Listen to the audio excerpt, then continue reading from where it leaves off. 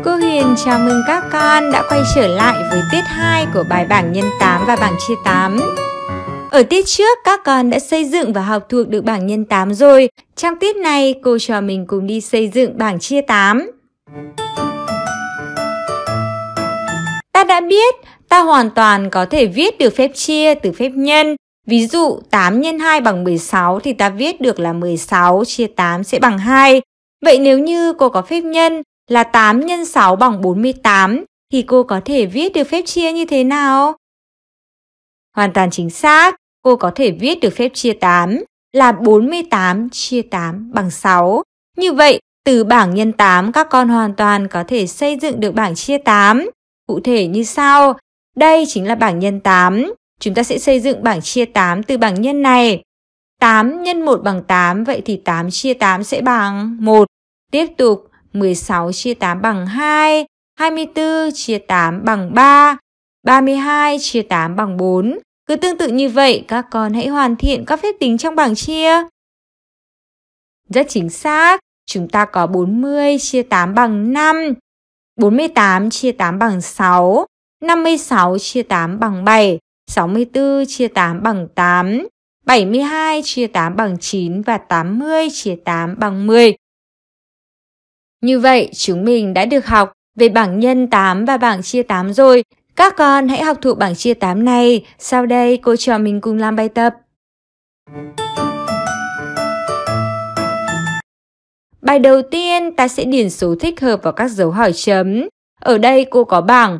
Hàng đầu tiên là số 8, hàng thứ hai là các số 4, 6 và 3. Tích sẽ là 8 nhân với các số ở hàng thứ hai. Chúng ta sẽ điền như thế nào? Đúng rồi, 8 x 4 bằng 32, 8 x 6 bằng 48 và 8 x 3 sẽ bằng 24. Tương tự với bảng thứ hai, chúng ta cần thực hiện phép chia. Rất chính xác. 16 chia 8 sẽ bằng 2. 80 chia 8 bằng 10 và 72 chia 8 sẽ bằng 9. Khi đã học thuộc bảng nhân và bảng chia, các con có thể thực hiện các phép tính này một cách hết sức đơn giản. Bài thứ hai, mỗi hộp bút có 8 chiếc bút chì màu. Chúng mình hãy tính, sau đó điền số thích hợp và dấu hỏi chấm. Ví dụ, 4 hộp bút có bao nhiêu chiếc bút chì màu? Một hộp có 8 chiếc, vậy 4 hộp chúng ta sẽ phải lấy 8 x 4. 8 x 4 sẽ bằng 32. Tương tự, chúng mình cũng hoàn thiện các dấu hỏi chấm còn lại. Cô khen chúng mình, 6 hộp bút sẽ có bao nhiêu chiếc bút chì màu? Ta lấy 8 x 6 bằng 48. 3 hộp thì chúng ta lấy 8 x 3 bằng 24. 10 hộp ta lấy 8 x 10 bằng 80 và 5 hộp ta lấy 8 x 5 sẽ bằng 40. Đó là một số bài tập giúp các con nhớ hơn được bảng nhân và bảng chia 8. Bây giờ ta sẽ cùng luyện tập. Bài đầu tiên các con hãy nêu các số còn thiếu. Chúng mình quan sát 8, 16, 24, hai ô trống rồi tới 48, ô trống 64, ô trống rồi 80. Chúng mình thấy ngay đây chính là các tích của các phép nhân trong bảng nhân 8. Chúng ta đã biết chúng tạo thành dãy số được đếm thêm 8, vậy các con sẽ điền số như thế nào? Hoàn toàn chính xác.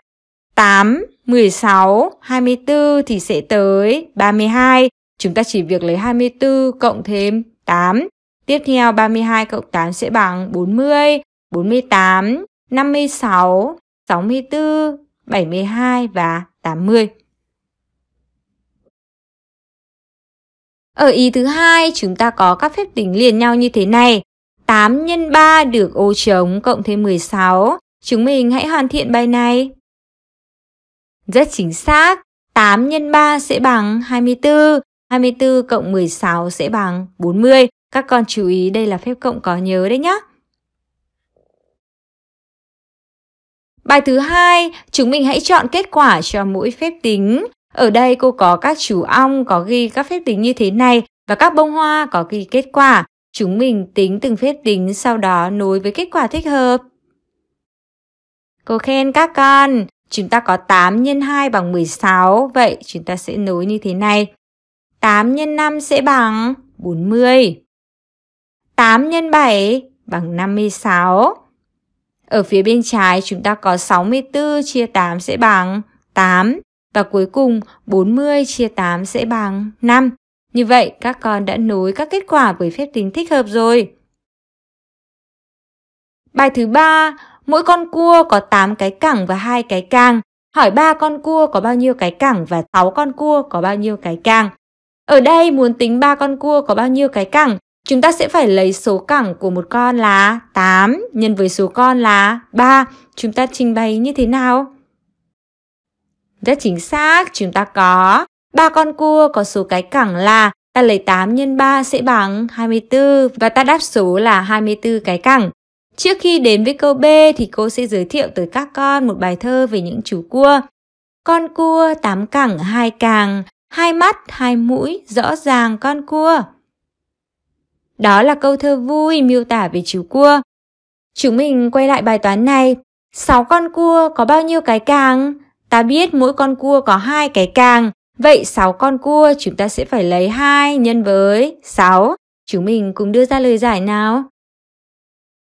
Hoàn toàn chính xác. 6 con cua sẽ có số cái càng là ta lấy 2 nhân 6 bằng 12 cái và đáp số 12 cái càng. Như vậy ở bài ngày hôm nay cô đã giới thiệu tới các con về bảng nhân và bảng chia 8. Sau khi xem xong bài giảng, chúng mình hãy học thuộc hai bảng nhân và chia này, sau đó làm phần luyện tập để củng cố kiến thức. Cô cảm ơn các con và hẹn gặp lại các con trong các bài giảng tiếp theo của olm.vn.